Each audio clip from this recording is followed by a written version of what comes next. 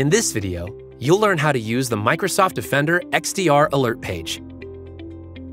The alert page provides full context to an alert. It combines attack signals and related alerts into a detailed timeline. Quickly triage, investigate, and act on alerts that affect the organization. Understand why an alert was triggered and its impact, all in one place. The alert title is simply the alert's name. It's a constant reminder of which alert started your current investigation, regardless of what you select on the page. Second, affected assets includes cards for assets such as apps, devices, mailboxes, users, and other entities impacted by this alert, and you can select them for more information and for actions. Third is the Details side pane.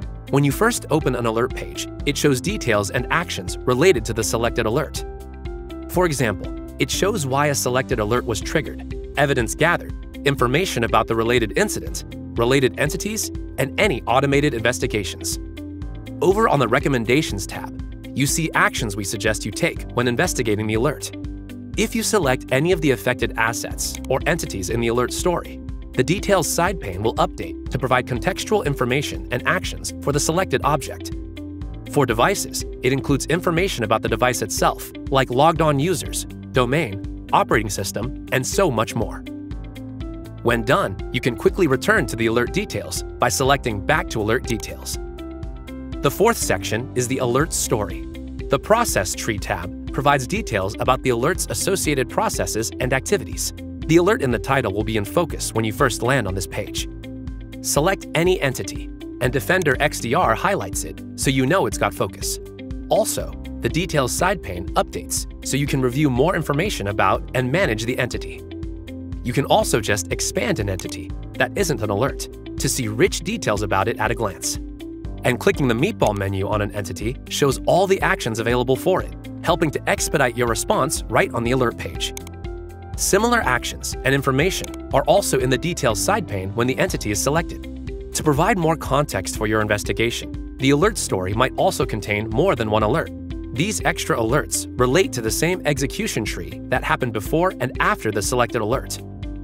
The second tab, Alert Timeline, is a more concise chronological view that helps you to quickly triage and make decisions. Once you're done investigating, go back to the alert you started with and select Manage Alert to change its status to Resolved